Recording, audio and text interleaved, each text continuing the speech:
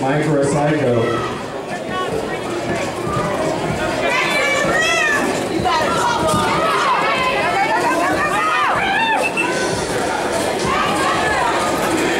Yoshi to Pack.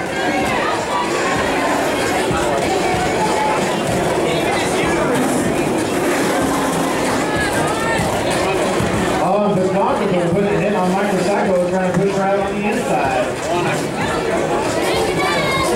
Both Micro Psycho and Yoshi getting swept out and recycled. Blazing Bebe has a little bump on Yoshi.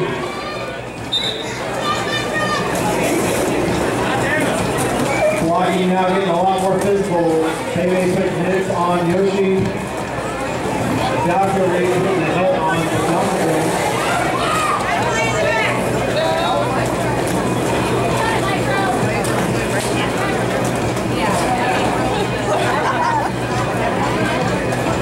Still waiting for a lead this. Looks like the last quarter, very, very aggressive defense, great positional blocking. And it's not allowing many skaters to break out of the pack to get that lead.